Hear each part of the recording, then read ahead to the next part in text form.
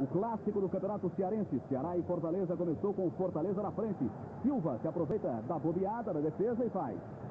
Um contra-ataque rápido com troca de passes entre Silva e Ribamar. Termina no segundo gol de Silva. Segundo do Fortaleza. Acompanha aí.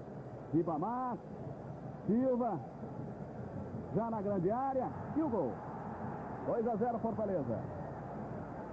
Um outro contra-ataque. Lupercino da Silva. Que deixa então para Ribamar fazer o dele.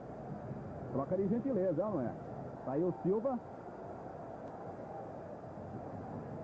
E o chute de Ribamar. Fortaleza 3, Ceará 0.